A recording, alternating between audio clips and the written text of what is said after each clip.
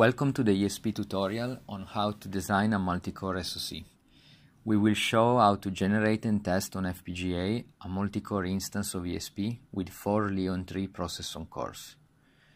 This tutorial follows all the same steps as the tutorial on how to design a single core SoC, which you can find listed as a prerequisite in the video description.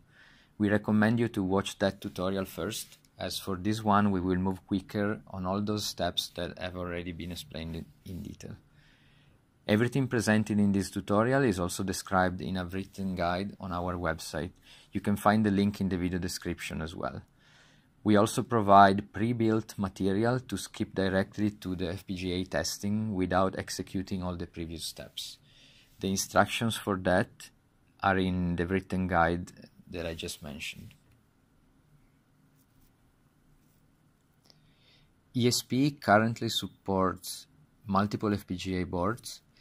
In the SOCs folder, you can find one design folder for each of the boards.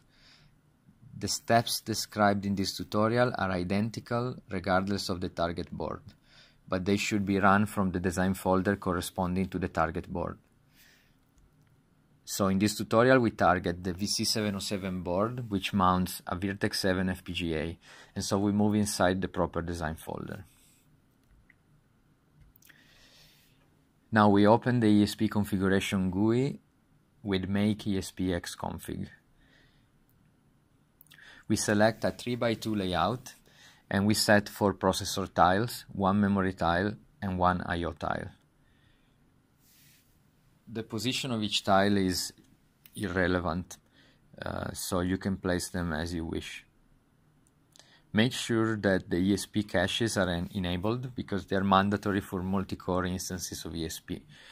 To support multi-core operation, the ESP caches implement a directory-based MESI protocol over the network on chip. Our protocol has support for accelerators as well, uh, as we will see in one of the next tutorials. We presented this protocol at NOCS 2018 and the reference is listed in the suggested readings of this tutorial on our website. Aside from the SoC configuration, all the following steps are the same as those shown in the tutorial on how to design a single core SoC. So we're going to move relatively fast and please refer to the prerequisite tutorial for more details. In this case, we keep the default MAC and IP settings for the debug link, so we don't need to open the grlib configuration GUI. At this point, we generate the caches.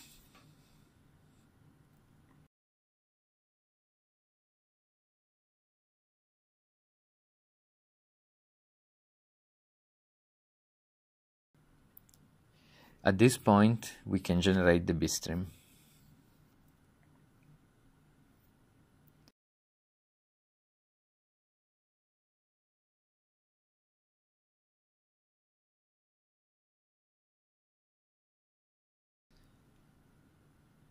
Once the bitstream is ready, we compile the bare metal default application and we create an image of Linux SMP.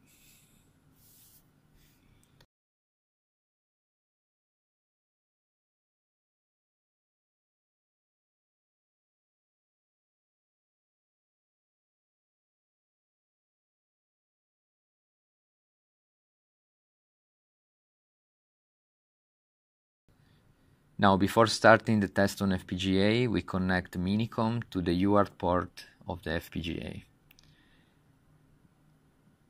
Then we program the FPGA with the bitstream that we have just generated and we run the default bare metal program right after.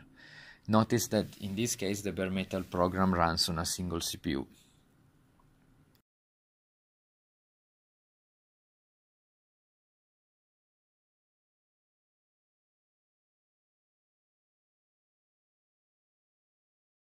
At last we are ready to program the FPGA again and boot Linux multicore.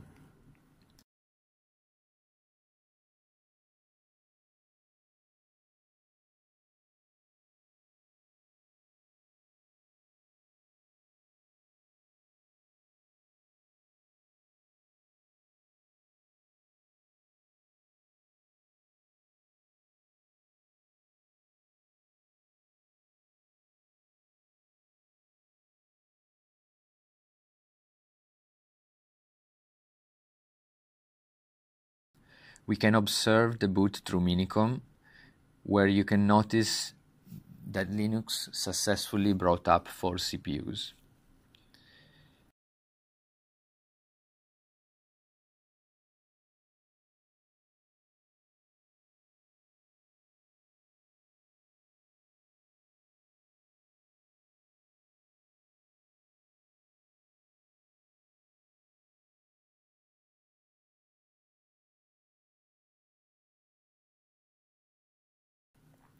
In this case, the Ethernet port of the FPGA board is connected directly to my computer rather than to a router connected to the internet network. Therefore, Linux won't be able to lease an IP, so it is not possible to connect to the ESP instance through SSH.